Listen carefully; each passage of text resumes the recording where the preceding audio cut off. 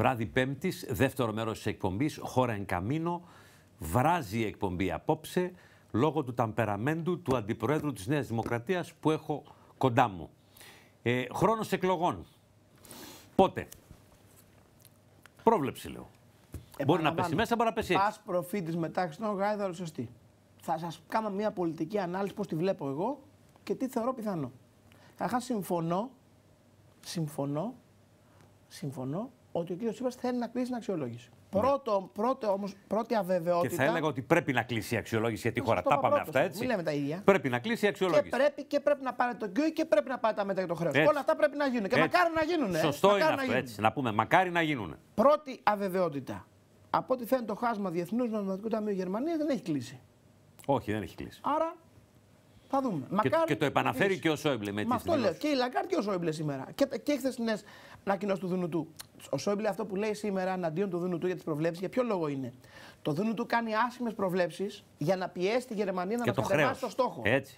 Αν Και το κατεβεί ο χρέος. Μετά. Μαζί πάει. Αν κατεβεί ο στόχος, πρέπει αυτόματα η, η Γερμανία να μας δώσει κάτι στο χρέος για να βγαίνουν Έτσι, τα νούμερα. έτσι, έτσι ακριβώς. Ο Σόιμπλε λέει ότι κάνει λάθος το ΔΝΤ και τα νούμερα βγαίνουν γιατί δεν θέλει να μας δώσει κάτι στο χρέος. Έτσι. Άρα θέλει να μείνει ψηλά ο στόχος. Έτσι. Άρα ακόμα μεταξύ του έχουν διελκυστίδα.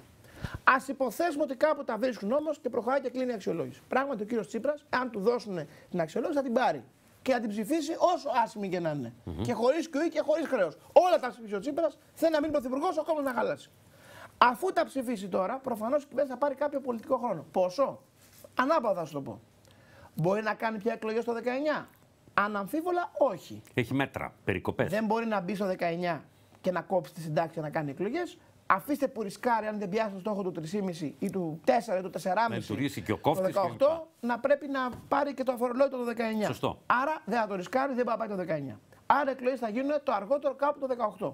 Πού τώρα το 18, αν πάρει το QE και βγει στις αγορές, μπορεί να πλησιάσει τον Ιούλιο του 18 ή να το ξεπεράσει και λίγο λέγοντας το ψευδέ που μα βγάλει το μνημόνιο. Λέω το ψευδές γιατί; Γιατί αν έχεις ψηφίσει αναγκαστικά μέτρα και για το 19 και για το 20 και το 21, στην ουσία έχεις ψηφίσει νέο μνημόνιο.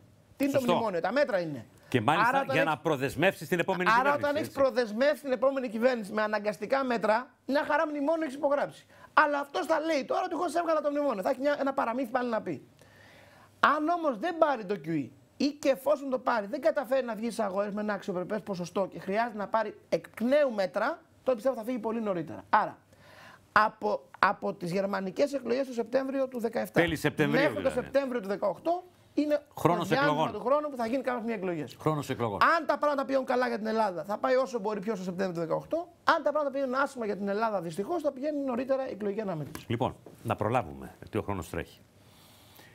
Κάποιος παλιός και έμπειρος νεοδημοκράτης, δεξιός, όχι κεντροδεξιός, της κοινωνικής δεξιάς, όπως μου αρέσει να λέω, όχι της λαϊκής δεξιάς, της κοινωνικής δεξιάς, στην οποία ανήκω εγώ, συνηθίζει να λέει ναι, ο Άδωνης είναι μαχητής, ακτιβιστής, επικοινωνιακά σωστός, βγαίνει και δίνει τη μάχη προς τιμήν του, αλλά βρε παιδί μου, ψαρεύει οπαδούς με δυναμίτη.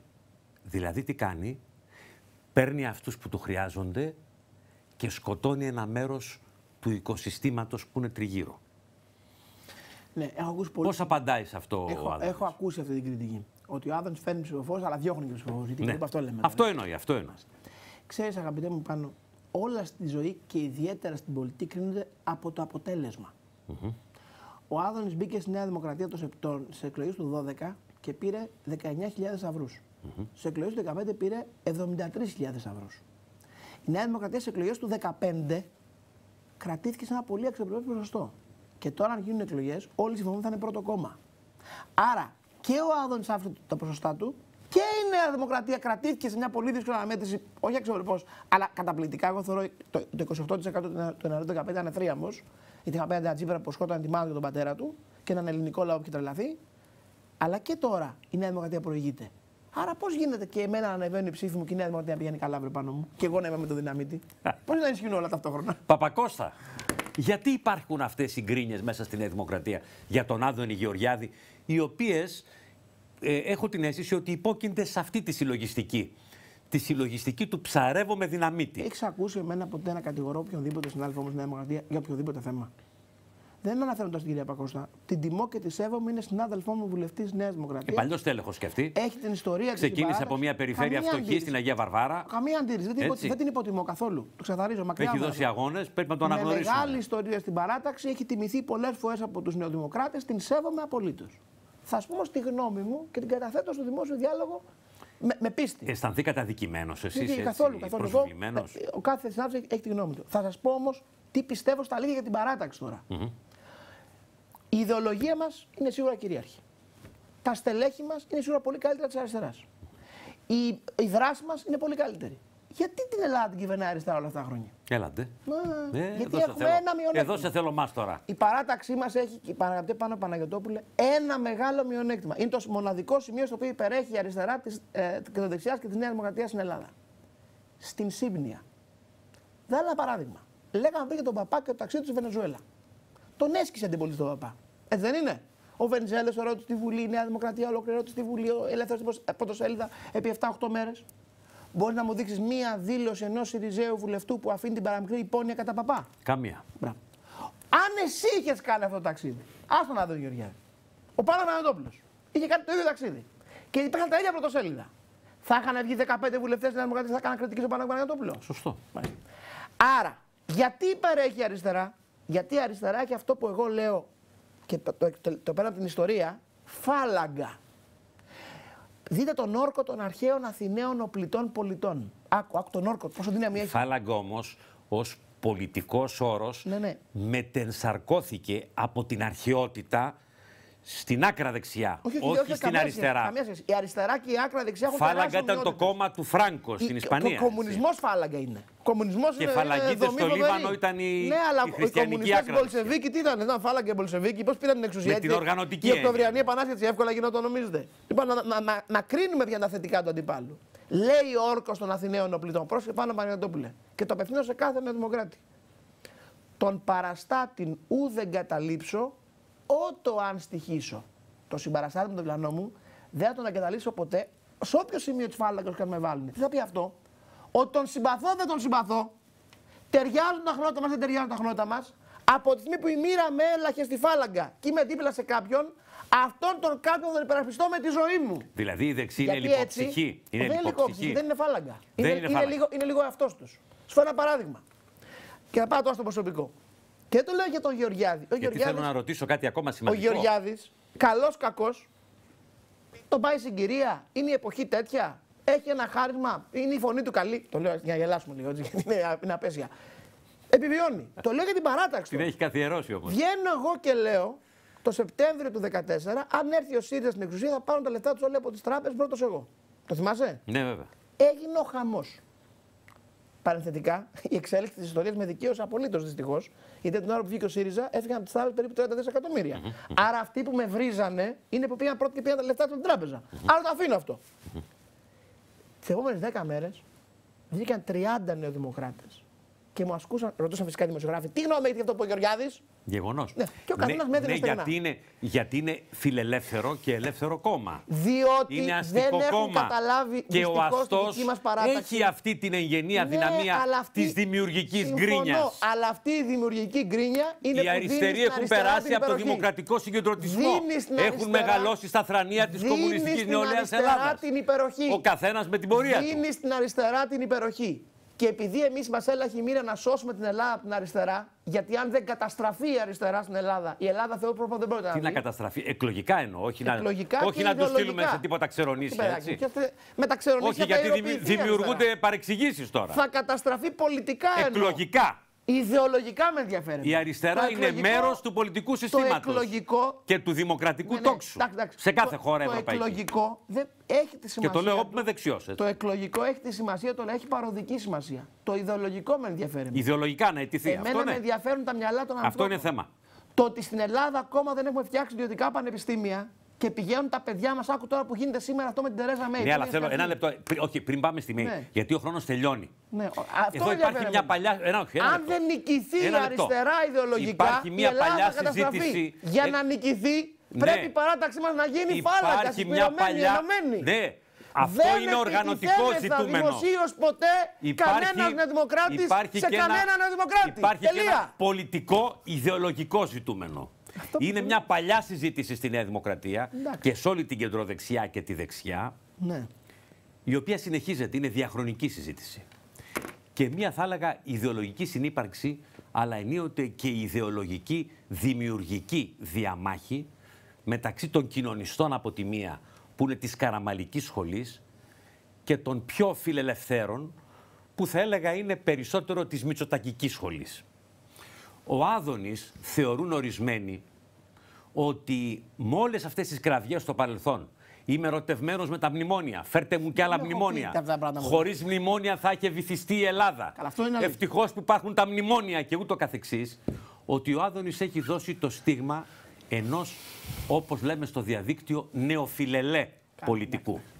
Δηλαδή ενός πολιτικού που πιστεύει ουσιαστικά στην πλήρη απορρίθμιση, θέλει να απολύσει δημοσίους υπαλλήλους, πιστεύει ότι θα πρέπει να υπάρξει μια ασίδωτη αγορά και μέσα από αυτή να υπάρξουν εξελίξεις σε σχέση με την ανάπτυξη, ότι δεν πρέπει να υπάρξει ισορροπία μεταξύ μιας λελογισμένης κρατικής παρέμβασης υπέρ των αδυνάτων και των δυνάμεων της αγοράς που οδηγούν στην ανάπτυξη, Εδώ. οι οποίες βεβαίως πρέπει να είναι ελεύθερες.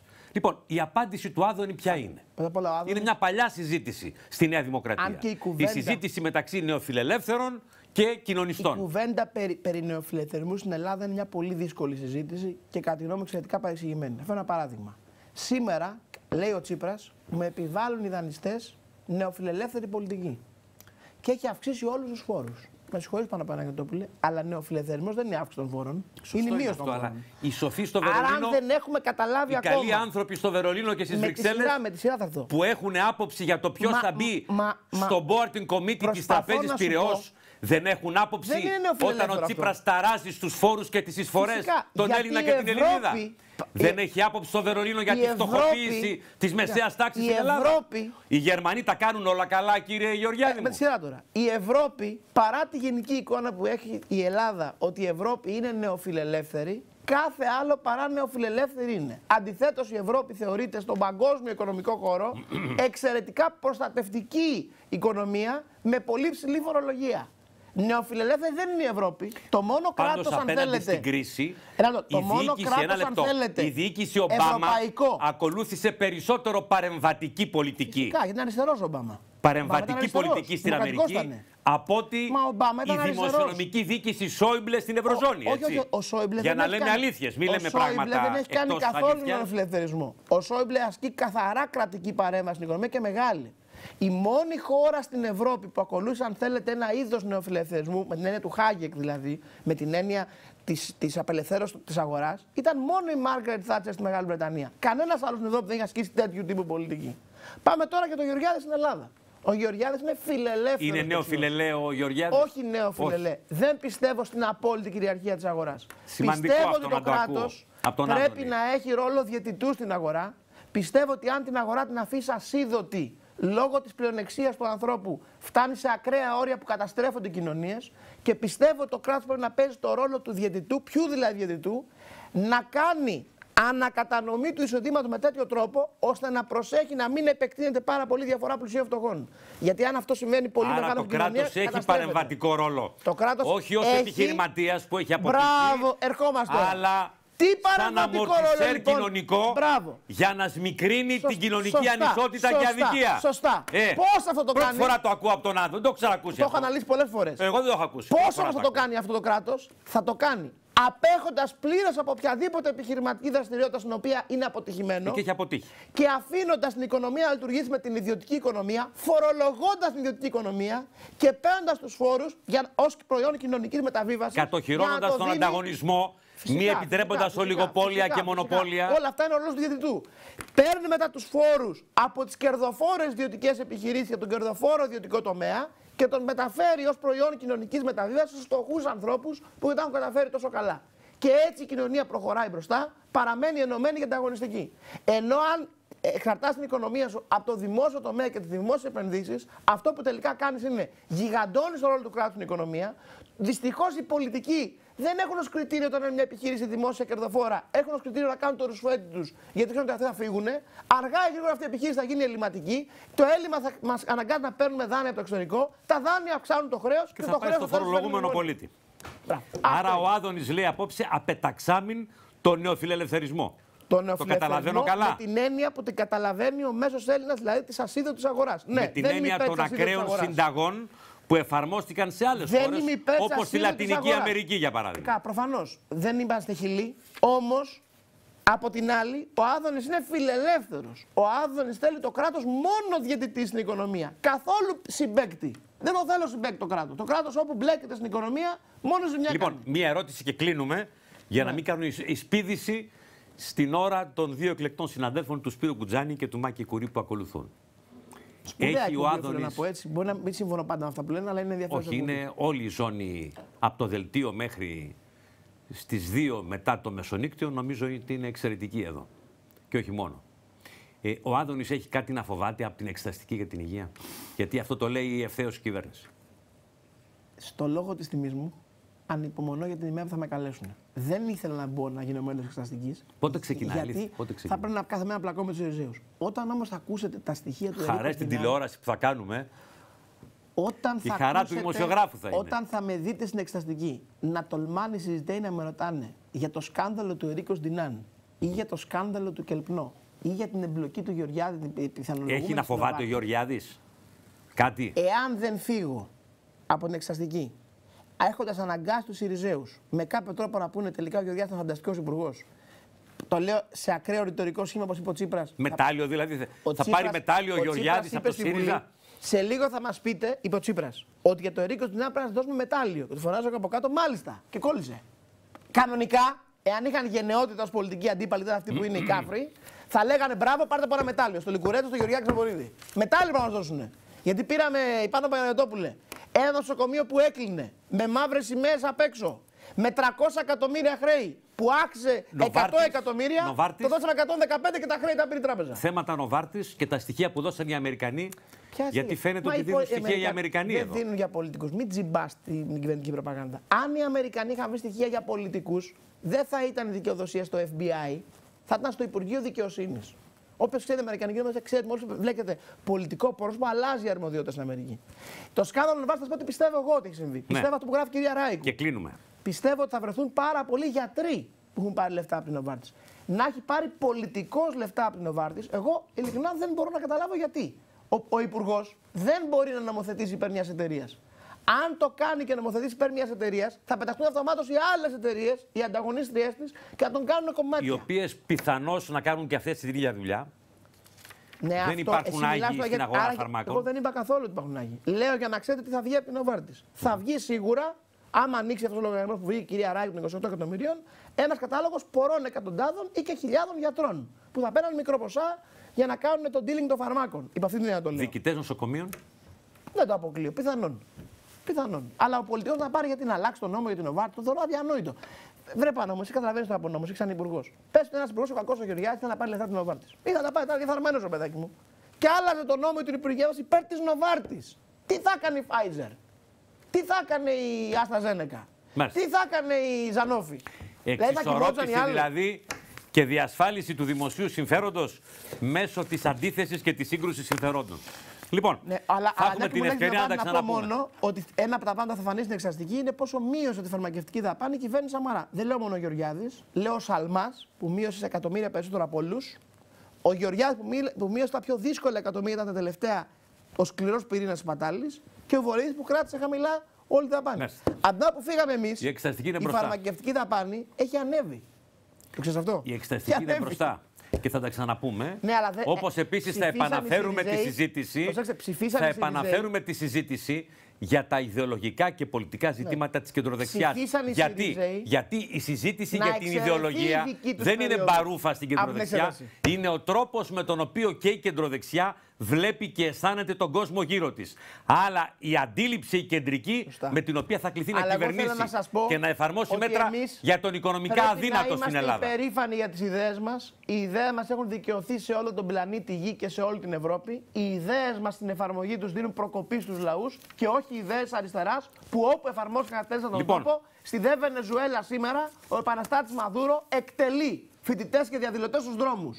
Και βγαίνει ο Κλείσαμε. ΣΥΡΙΖΑ με το Left GR και λέει το πραξικόπημα της δεξιάς. Αν τα διάβασε σήμερα. Σπύρος Κουτζάνης, Μάκης Να Κουρής. πω ότι ζήτησε η Νέα Δημοκρατία, το, δεν το είπαμε αυτό. Ναι, είναι Ζήτησε η γνωστό Νέα από τις- Δημοκρατία από τις ειδήσεις. Από την Επιτροπή Εξωτερικών και Άμυνας τη Βουλής να συνέλθει, να συζητήσουμε στην Επιτροπή το θέμα της Βενεζουέλας και να γίνει ζήτηση στην Ολομέλεια για να εκδοθεί ψήφισμα του Ελληνικού Κοινοβουλίου Μάλιστα. κατά τη Λοιπόν, δολοφονία τελειώσαμε. των φοιτητών από το καθεστώς Μαδούρο, του δικτάτορα εκεί. Ακράτητος. Ευχαριστώ πολύ. Μάκης Κουρής, Σπύρος Γκουτζάνης. Είναι πέμπτη βράδυ κυρίες και κύριοι. Εμείς το τρίμερο δεν έχουμε εκπομπή όπως γνωρίζετε. Την επόμενη Δευτέρα στις 9 με όλα τα νεότερα από τον πρώτο γύρο των γαλλικών προεδρικών εκλογών στις οποίες θα κρυθούν πολλά και για την τύχη της Ευρώπης. Καλό βράδυ.